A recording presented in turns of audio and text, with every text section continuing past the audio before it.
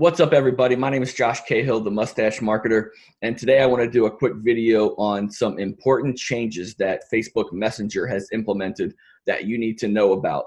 So, we're going to cover five changes on Facebook Messenger that you need to know. First, before I go over anything, these changes effective are effective August 15th, 2019. So you don't have to worry about them right now, but it is something you need to prepare for because if you don't take action on these changes, your bots will suffer and they probably won't work right.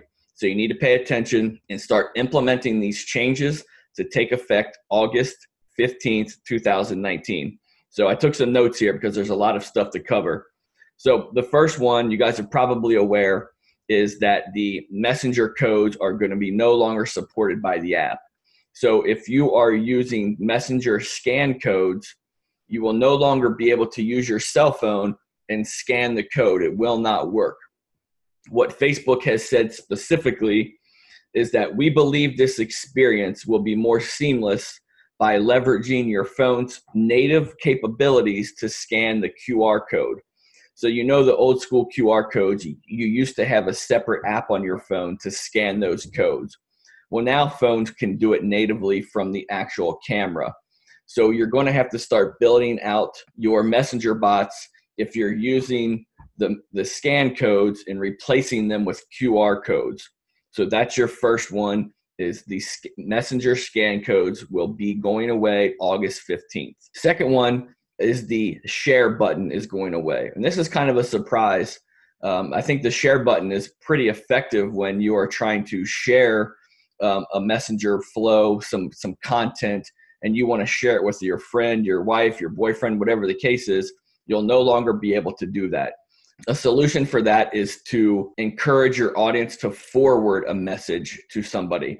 So currently you'll you can click the share button, it'll open up another menu, you can select who you want to share it with and it'll send it to them. That's going away August 15th. So you'll have to rearrange your bots especially if you work with clients or your own bots. If you have the share button in, uh, on any of your flows, make sure you go in and delete that because it'll be a dead button. It won't work. It won't do anything. And it'll lead to a bad experience for your uh, end user. Second thing, the vertical list templates are going away. So if you know what the vertical list is, where it's basically a vertical list, a bullet point, a bullet point, a bullet point, a bullet point, it gives you that vertical list going away.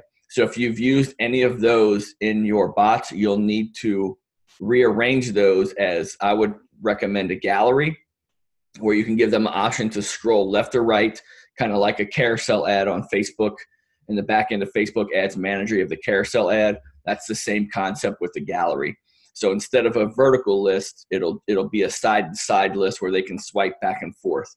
So I would go in again. It's not effective today but you'll need to go in and prepare, especially if you have a lot of clients that you've used those vertical lists with. They're not going to work, they're not going to appear properly, and it's going to lead to a bad user experience.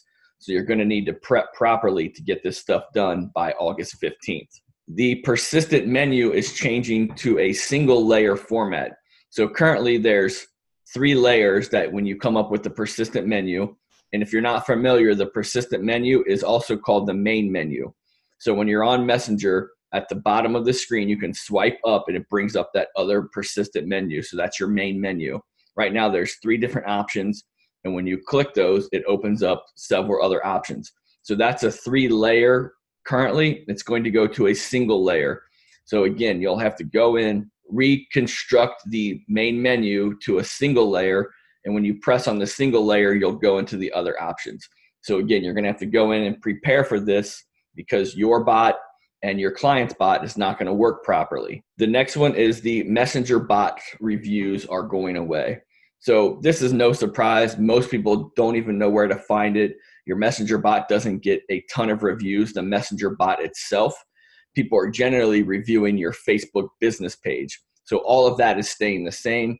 You will just no longer to be able to review or leave a star review of a messenger bot so that's really nothing to worry about. I don't think that's very uh, a very big change. I actually like that. I'd rather someone review my overall business page than just my bot. So those are your five things that Facebook Messenger is changing. The share button is going away. Messenger scan codes are going away. Vertical list templates are going away. The persistent menu is going away. The main menu is, I'm sorry, it's not going away. It's changing to a single layer. And then Messenger bot reviews are going away. So make sure you guys take action now. Don't wait till the last minute where your bots break, they don't work, you have a bad user experience.